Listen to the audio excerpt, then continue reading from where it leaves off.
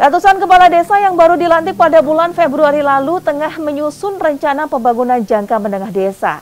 Dinas Pemberdayaan Masyarakat Desa mengimbau agar program kegiatan di tingkat desa tidak hanya berfokus pada kegiatan fisik. Kegiatan peningkatan ekonomi dan pemberdayaan masyarakat juga perlu diprioritaskan.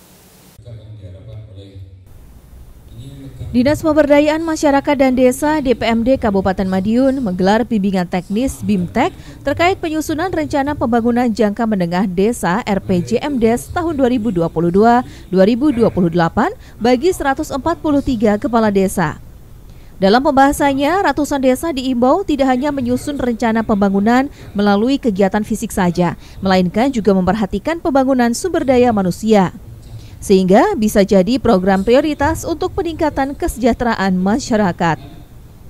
Kepala DPMD Kabupaten Madiun, Joko Lonono mengatakan, BIMTEK kali ini dengan pertimbangan RPJMDes merupakan rel untuk menentukan arah perjalanan pembangunan desa enam tahun ke depan sehingga harus menetapkan tujuan, strategi, menyerap aspirasi, serta mengolah skala prioritas agar yang menjadi tujuan desa dan masyarakat bisa secara efektif dan efisien. Uh, karena Adi di dana desa ini kan sudah ada 8 tahun ya di desa. Saya pikir untuk CP sudah harus dikurangi porsinya, diarahkan karena permasalahan-permasalahan desa yang lain masih banyak di bidang pertanian, di bidang UMKM, pemberdayaan masyarakat, lansia, balita, stunting, ini masih banyak yang perlu disentuh. Maka untuk mewujudkan kesejahteraan masyarakat tidak harus dengan fisik, tetapi dengan pola pemberdayaan, uh, pengembangan ekonomi UMKM ini akan segera mewujudkan uh, terwujudnya kesejahteraan masyarakat.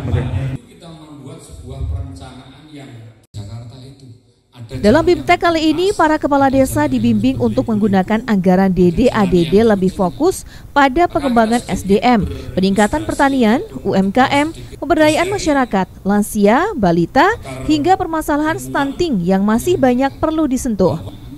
Sementara untuk pembangunan fisik perlu dikurangi porsinya dengan menentukan skala prioritas dan mempertimbangkan urgensi.